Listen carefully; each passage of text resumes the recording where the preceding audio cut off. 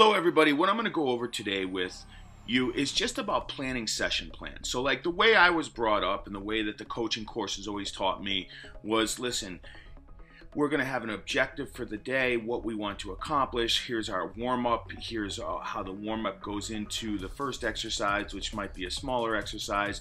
And eventually, the session probably ends up with goals and goalkeepers. And we and it works all into this is what the objective was today, this is the topic, and it builds into this real game at the end of the training session. And if you were being evaluated on that, they would look and say, "Hey, did you? What were your objectives? Did you stick to the plan? And did it make sense going from your warm up all the way to your your your larger game with goalies and keepers, right?"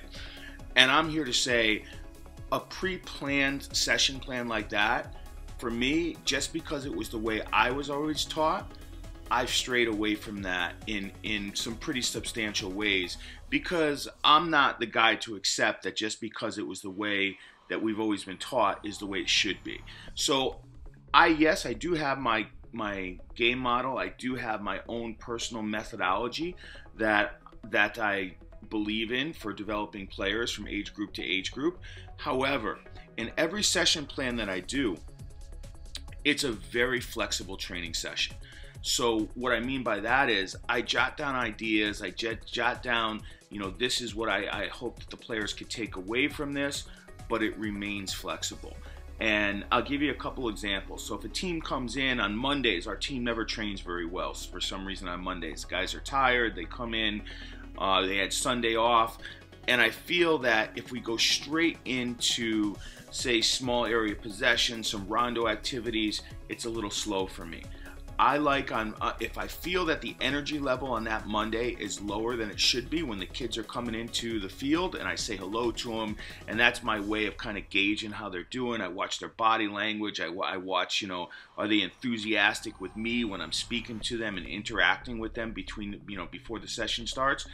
And if I feel that they need a little more boost, we're going to go a really hard physical warm up. I'm going to get him in, get him sweating, get him competing against each other. And then when that warm up is done, they're ready. They're focused, they're ready to go with the session for the day. Now, if they come in and they have a big energy level and they're talking to me and they're excited, I'm to switch it. We're to go straight into small area possession and the rondos and all these things. So I'm taking my cues from them of what we're going to do. Then when we get into the training session itself, what if there's some things that, that I need to fix right away? And when I say fix, just change. Maybe a constraint isn't working and it's not realistic and it's breaking down.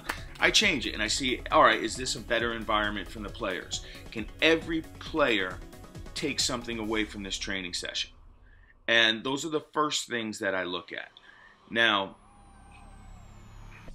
if a training session, say, is going really well and I like the exercise and the kids are really benefiting from it, why can't I keep that exercise and just say, you know what?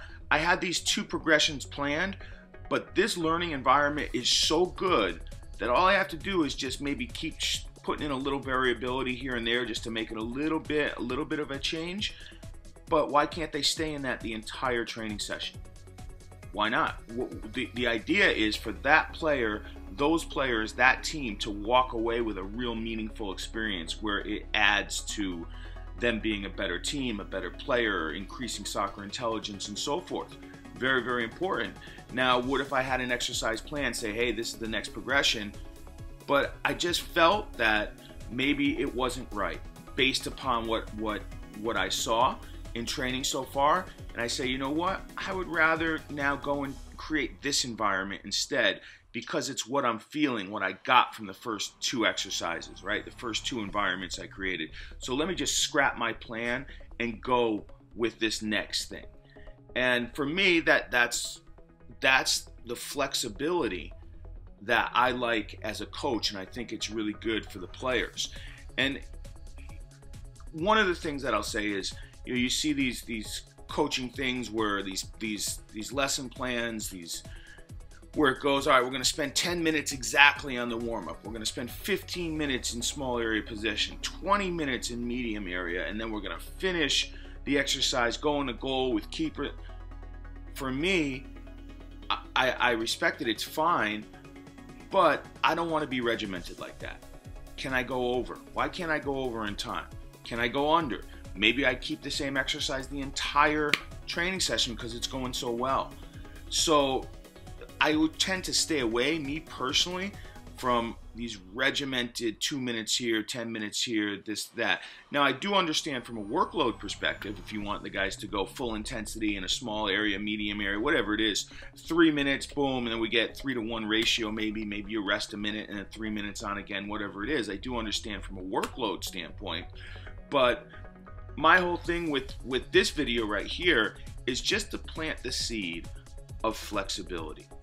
And you know, I had an interesting conversation with a goalkeeper coach in the UK who who kind of turned me on to this. He said that you know, the way goalkeeping training has been done in his opinion him growing up and the players of the past, just because it was done that way doesn't mean it's the best experience for the keepers. He said there's a lot of rote learning there. If all you're going to do, you know, every day you start out with volleys from your hands to the keeper's, you know, from your feet to the keeper's hands, he's like, what is the keeper really learning there? There's no decisions being made.